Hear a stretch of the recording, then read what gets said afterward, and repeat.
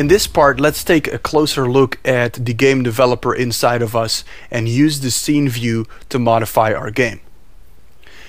So in the scene view, I can just simply click on items to select them.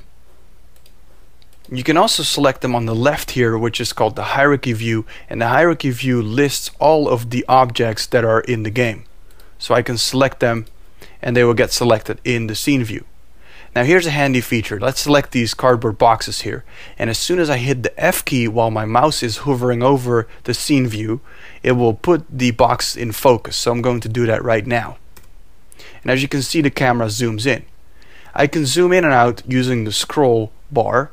And if I zoom all the way out so far that I can't really see 3D space anymore and I'm lost, I can always go back by hitting the F key and it will focus on my current selection.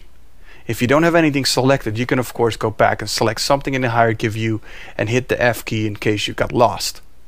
Okay, now what else can I do? I can hit the Alt key on my keyboard and then click and drag the mouse and this will make me maneuver around a 3D object.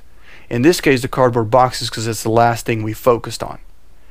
Now in case I don't want to really uh, focus on cardboard boxes but move around in 3D space, I can just use my cursor keys like the back, front, left and right to maneuver around in 3D space like you would expect in a video game except the camera is floating. Also what is very noticeable is those four boxes up here on the left and you'll come to use those a lot. The hand symbol allows us to go up and down and look at things in 3D space. The move symbol allows us to move objects, which we'll get to in a second. The rotate option allows us to rotate objects and the scale button allows us to scale objects up and down. So if I scale here in the middle, it will scale the entire group of boxes up and down. We can undo this with Command Z on Mac or Control Z on Windows. Now any selected object will show its properties on the right here, which is called the inspector. So for example, if I look really closely at these cardboard boxes, you can see that there's a texture of cardboard on the boxes and this texture is also displayed here in the inspector of my currently selected object. So all the properties of these boxes is editable here on the right. These are called components and I can add extra component if I would like. So let's zoom out just a little bit here. I've already mentioned that everything in the game is an object because Unity uses an object-oriented approach for their game. So everything you see or don't see is an object. Lights are an object, the lockers are an object, these are all objects. Okay, what I can do is create a new game object as well. Go to the left where it says game object, then create other, and then click cube. This will create a cube in 3D space. However, it's a little bit hidden behind the boxes right now as you can see when I rotate around. So I'm going to go back to the move tool and move the cube out of there. Now it's a little bit hard to see so I'm going to hit the F key again to focus on it. As you can see the lights are already impacting the box there's nothing I needed to do about it. But as soon as I go into the game view and hit play you'll see that the box is standing in my way. This is not particularly what we want because a floating box is actually a little weird. So what we're going to do is make the box a little bit smaller. So let's go to our scale tool here and click the middle and scale it down just a bit. And as you can see, the scale here on the right in the inspector is changing as I drag my mouse.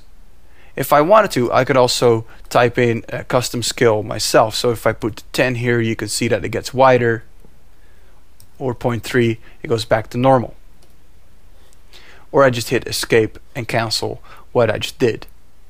Also, the rotation is mentioned here and the position of the cube. Now, we'll get into 3D axes a little bit later, but right now what we want to do is move the cube up towards the ceiling.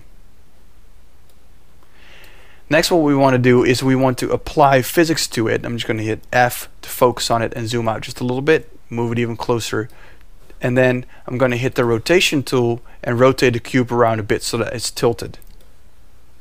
Perfect. Now what I'm going to do is add physics to it. So I'm going to go to uh, component and then physics. And this allows us to add all kinds of physics to it. So in this case, a rigid body means something that is rigid but still bounces. So I'm going to click that. An additional way to add the rigid body is by going to actually add component and it will add, allow us to do the same by going to physics and then selecting rigid body. However, we've already added it. As you can see the rigid body is right here. Now it allows us to do all kinds of professor stuff and add the mass and make the box heavier or what kind of drag it has but we'll just leave this to the defaults right now. Now as soon as I hit the play button you'll see what happens. The cube falls from the sky and it's laying right in front of my feet. If I actually kick the cube, you can see it uh, toggles around a little bit. It's pretty small so I can't look down that far, but that's pretty much how physics work. So you may go, wait a minute, Ephraim, physics just work right out of the bat and I don't have to actually code it myself? That's right, we leave the physics to the people that have books for friends. That way we can make games and be social with our computers. Moving on, let's move another box in here and say edit, duplicate, and this duplicated the uh, actual box. And I'm just going to move this one up right on top of it. And I'm also going to move both of these boxes away from the player a little bit so we can see it better. Now if I hit play you can see both boxes actually collide on top of each other. They sort of try to stack up but then tumble off. So you can see all these physics have a live effect on each other. And there's really absolutely nothing we needed to do other than, you know, adding a rigid body. Now let's make this a little bit more fun and go pick up that Beretta of ours. Here we go. And we've coded the gun in such a way that if you shoot, it adds a little bit of physics force to the object that receives it. So as you can see, the boxes respond to it. Now if I made the mass of the box a little bit smaller, it would actually uh, tumble over. So you can do all kinds of fun stuff like this. Alright, so now you know what game objects are. They're every object in the game, and you know how to add physics to uh, boxes. Now, okay, this is a start. We'll get there. We'll do some more fun stuff. So continue on to the next video, and um, we'll continue on from there.